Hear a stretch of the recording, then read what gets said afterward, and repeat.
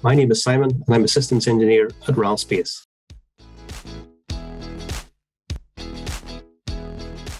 From an early age, I've had an interest in science and technology, uh, with a particular interest in electronics.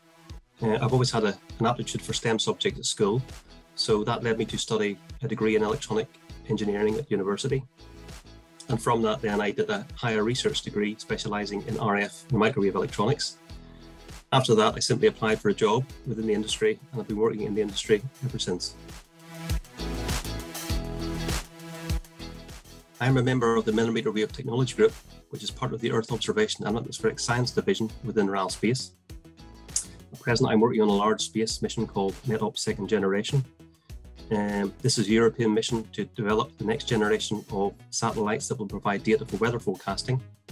The mission is due to come online in 2025 and will provide that data for at least 25 years.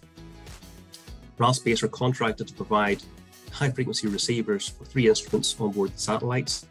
We will deliver 24 flight receivers to our customers.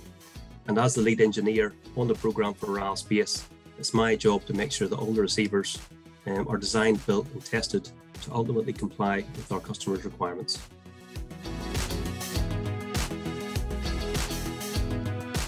Think we're all aware that the data and services provided by satellites have a huge impact on our lives. Data from observing the Earth is particularly important now, more so than ever, due to the effects of climate change. For example, we have more frequent extreme weather events, which can be mitigated through nowcasting, which is a weather forecasting on a very short timescale and satellite imagery, navigation, and communications play a critical role in disaster relief management. So I would say my role is important because I'm contributing to the development of these instruments, which will provide this important data.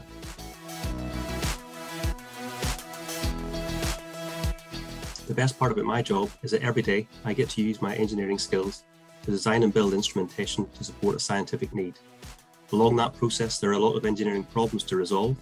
That's actually a lot of fun and when we resolve those problems and we have a working system at the end, that's usually rewarding.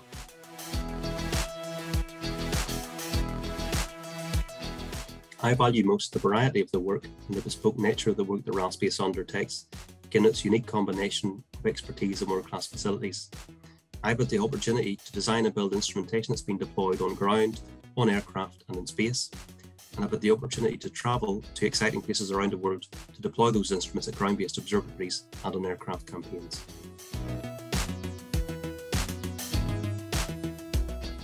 I would advise anyone still in education to look at the apprenticeship and graduate programs available at RAL Space and other large space organisations. These are a great way to get a job in the industry and then to embark on a training program which is tailored to the industry. Secondly, I would advise those interested in working at RAL Space sign up to the STFC talent pool. This will ensure that your CV and covering letter are available to those who are recruiting within RAL Space. This is an excellent way to get noticed to show your initiative.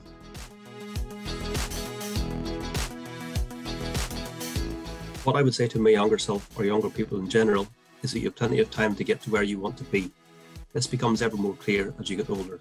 So if you miss out on a job opportunity or you fail an exam or you encounter some other setback, it's not the end of the world.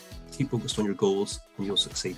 I would also say to those in education that they should do everything possible to maximize the benefits of it. That means getting the best careers advice as early as possible so that you can make the best informed decisions regarding your career.